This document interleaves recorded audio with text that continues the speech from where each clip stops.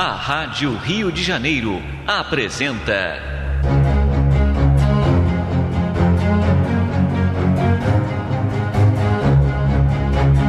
Atualidade da mensagem de Chico Xavier.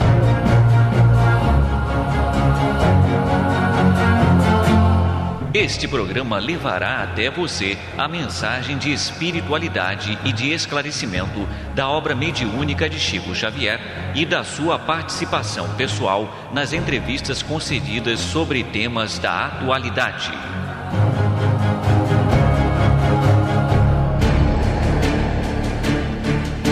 Nosso programa de hoje relembrará temas como ateísmo e resignação diante do sofrimento, dentre outros temas abordados pelo nosso irmão Chico Xavier.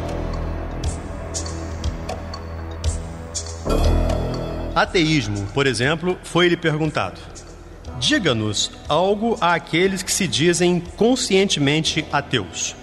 E responde Chico: Emmanuel comumente nos diz que o ateísmo é uma condição transitória para o espírito, considerando-se que todos nós somos criaturas imortais. O ateísmo, assim, pode ser considerado por faixa de sombra em nossa estrada evolutiva, uma espécie de túnel que atravessamos na direção da claridade.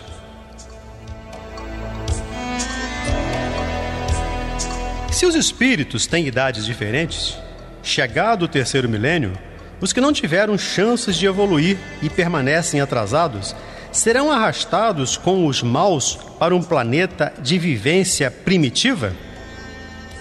Responde o Chico.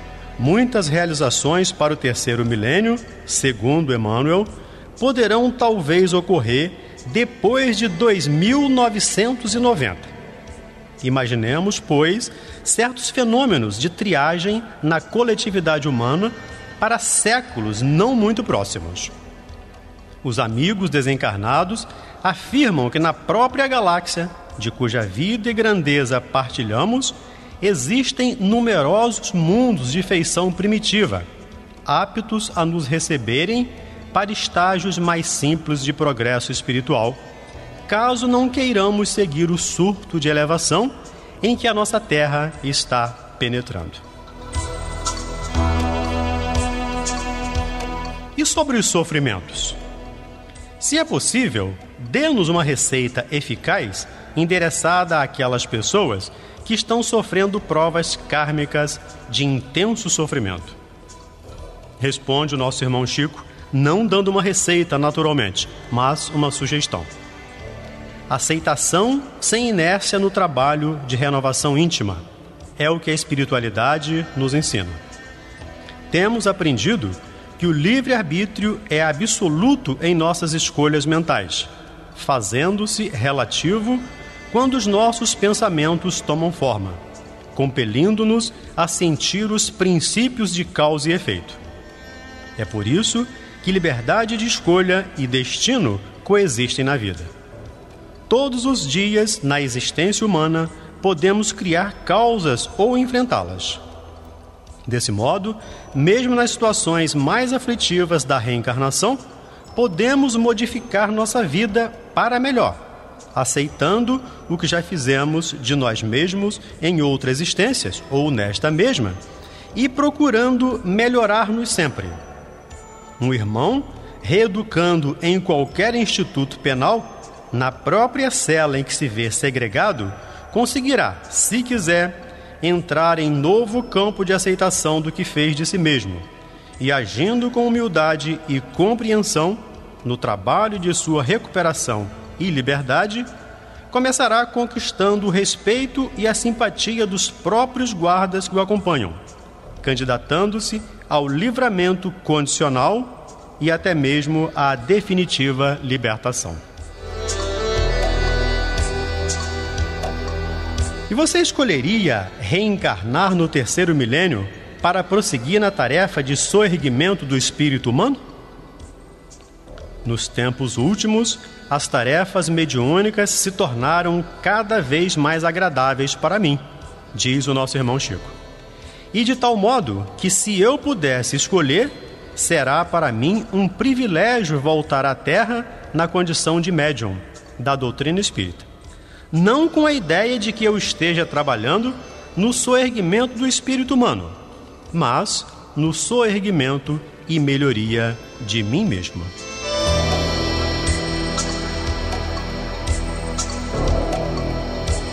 E se soubesse ter chegado o seu último dia na terra, que faria nesse dia? Se soubesse de meu último dia no corpo, cancelaria qualquer tarefa, como sejam viagens ou contatos outros, para trabalhar no máximo com os bons espíritos, de modo a aproveitar o restinho de tempo que estivesse ao meu dispor.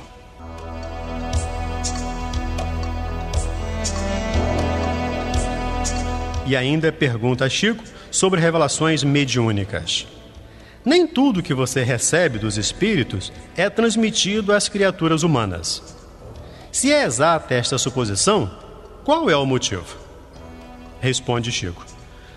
O médium, na doutrina espírita, à medida que se conscientiza nas tarefas que desempenha, aprende com os espíritos amigos que só interessa o bem das criaturas e que o mal não merece considerações, a não ser aquelas que nos levem a extirpá-lo com espírito de amor. Por isso, tarefa mediúnica inclui a triagem necessária dos assuntos a serem comunicados, para que o bem seja sustentado entre nós. O médium responsável é semelhante ao guarda-chaves da ferrovia. Deve ter cuidado na passagem dos comboios evitando qualquer desastre. No caso, é a passagem ou a filtragem das ideias.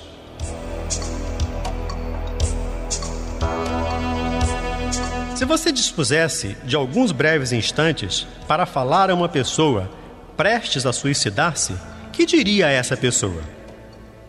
Diria imediatamente, qual já tenho feito em diversas ocasiões, que a morte não existe como extinção da vida e que convém a essa pessoa uma pausa para pensar nas próprias intenções e revisá-las.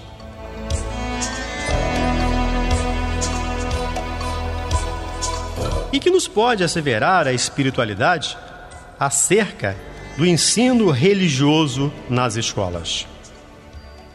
Emmanuel sempre diz que o ensino religioso é indiretamente recomendado pelas leis da vida no próprio lar em que surgimos para a nova reencarnação.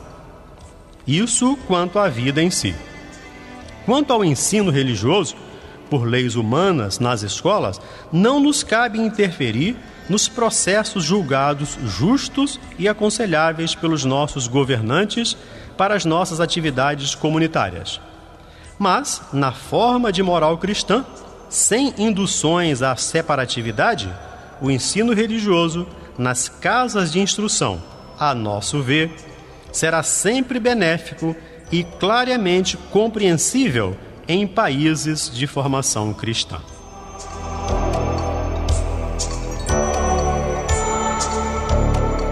Sabendo-se do inegável valor da hipnose na terapêutica de variados males humanos, e sobretudo nos trabalhos espirituais, seria razoável imaginar-se o uso intensivo dessas forças magnéticas, incluídas a telepatia, a psicometria e a telecinese nos centros espíritas do futuro? Responde Chico Xavier. Sim, quanto ao futuro e talvez futuro remoto. Por enquanto, como devemos trabalhar, considerando o todo da comunidade e não a parte que somos, nos será aconselhável, nos templos espíritas cristãos, condensar todos os recursos da hipnose ou do magnetismo em suas diversas derivações, no auxílio do passe e da oração de ordem curativa, confiando-nos a Jesus e aos bons espíritos que saberão encaminhar nossas forças e manejá-las em nível de elevação adequado, não aos nossos desejos, e sim às nossas necessidades. Menos fenômeno e mais socorro, com amor iluminado, qualquer observação.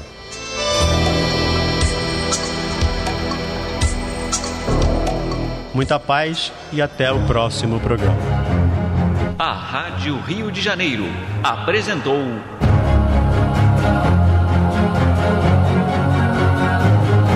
A atualidade da mensagem de Chico Xavier